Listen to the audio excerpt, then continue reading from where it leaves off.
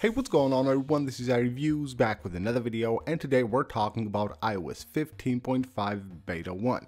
Now we have been waiting for this beta to be released since two weeks now. It is finally here and it is actually better than we expected. I expected this update to be just a bunch of fixes and improvements and things like that, but it looks like there's much more to this update which is kind of surprising. So in this video we're going to talk all about this update, everything you need to know, all the new features and changes that will come to iOS 15.5. And first of all, let's get started right here with the size of the update. So if you install the first beta of iOS 15.5 to your device, it should come at around 5 gigs on every device. This of course will be different on different devices by a few megabytes, but it is a quite large update. Of course, you will get around 5 gigs on your device when installing iOS 15.5 beta 1. Now currently it is just on beta 1 for devs. It will probably be released for the public, actually for the public testers like maybe today or tomorrow. And then of course we have here the build number. So the build number for this beta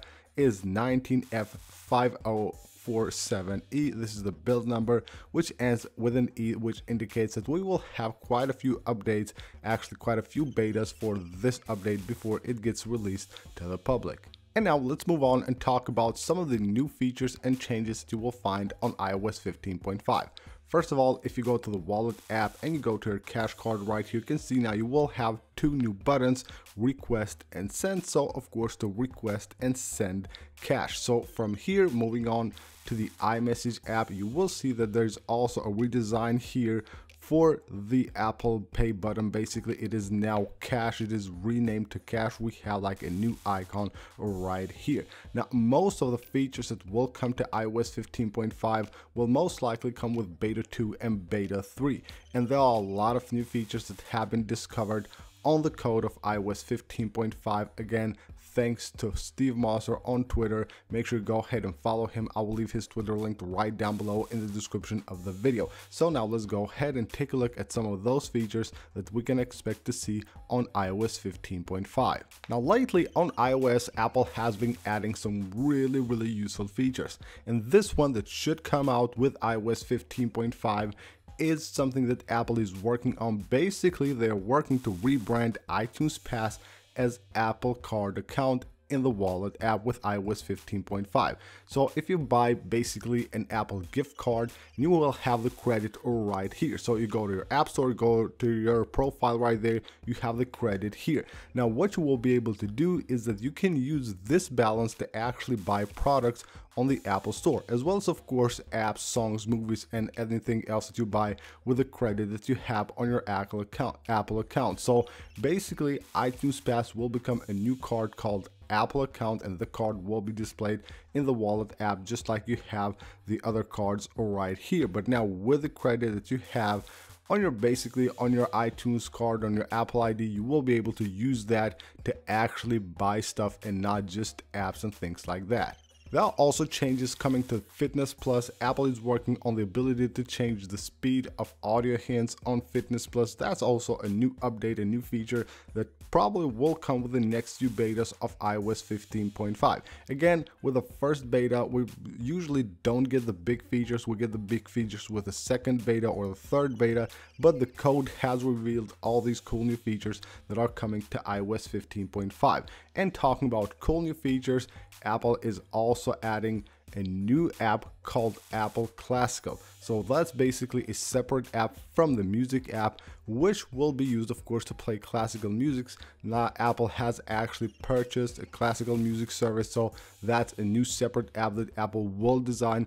Probably it will come with iOS 15.5. So code has been found on the current music app that is referring to that new app. So the Apple Classical Music app should come also with iOS 15.5. And the first time I opened the App Store after installing iOS 15.5 on my device, this is what I got right here. So basically a pop-up to let you know that you can enable notifications for your app store. So it says be the first to get new app releases, special offers and recommendations. So you will probably see this if you install iOS 15.5 and you don't actually have notifications for the App Store enabled, you most likely will see this pop up. I'm not 100% sure that this is new on iOS 15.5. It might have been here earlier with iOS 15.4, but this is the first time that I got actually this pop up on my device. And of course, with new releases, there are not just good things, there are bad things as well. And with iOS 15.5, the downside to this, if you decide to use this beta,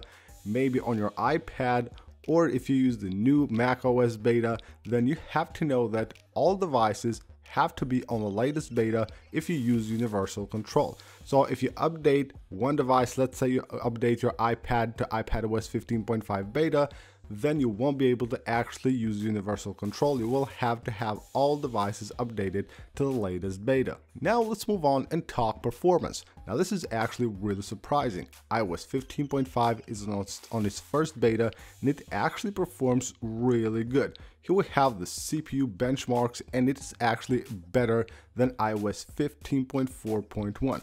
So here we have iOS 15.4.1. So we have a single core score of 1593, which is the exact same that I got right here on iOS 15.5 beta 1 even if it's even of course that is a beta 1 still performs really good but look at the multi-core score we have 4300 right here on the multi-core score with iOS 15.5 beta 1 while we had here 4184 on iOS 15.4.1 so that's a quite a good increase right there and it's still a beta 1 of course it will improve with the next betas as well now with the latest updates from Apple, one of the major topics has been battery life. With iOS 15.4, a lot of people got terrible battery life. We got then iOS 15.4.1, which actually fixed the problem for most people.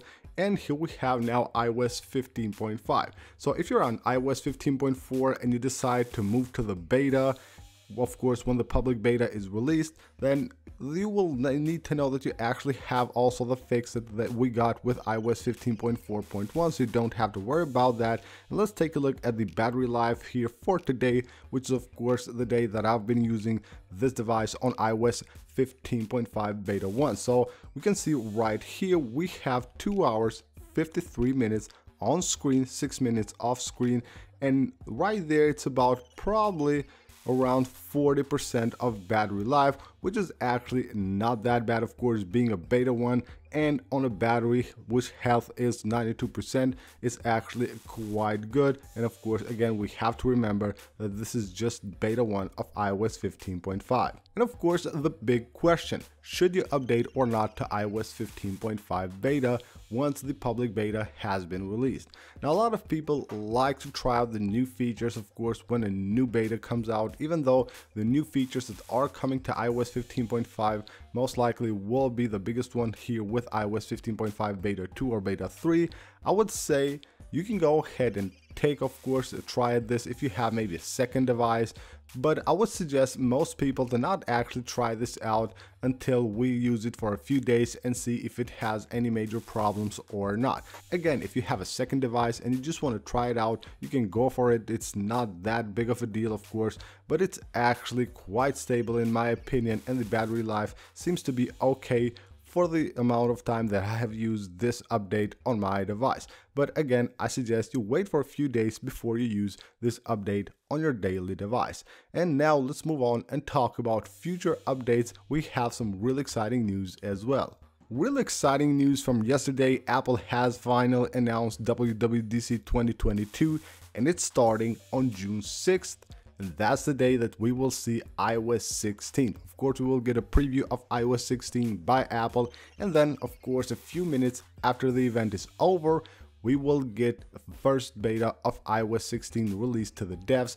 Probably three or four weeks later, we also will get the public beta of iOS 16, which is really, really exciting. Hopefully, we will see a lot of new features and changes to this update, which we have been waiting quite anxious to see if Apple will actually make some major changes and not just have some additional features like we got on iOS 15. So what to expect next from Apple until the release of the first beta of iOS 16? Well, we will get of course new betas for iOS 15.5 and I would expect Apple to actually release a new beta for iOS 15.5 on April 12th here next week or maybe they will go on a two week cycle for the first two betas so maybe it will be April 19th here and then after the second beta they will as usual go on the one week cycle and you can expect like four, maybe five betas of iOS 15.5 until it goes out to the public. And in meanwhile, I would expect Apple to also release a new version of iOS 15.4, 15.4.2 actually will most likely be also released this month. So that's basically it for this video guys. I hope you guys enjoyed the video. This is quite a good update even though we didn't expect iOS 15.5 to have any big changes or features. It actually has quite a few new features which are really exciting. Thank you guys for watching the video. Don't forget to subscribe for more. Leave a like on this one if you enjoyed it and I'll see you on the next video.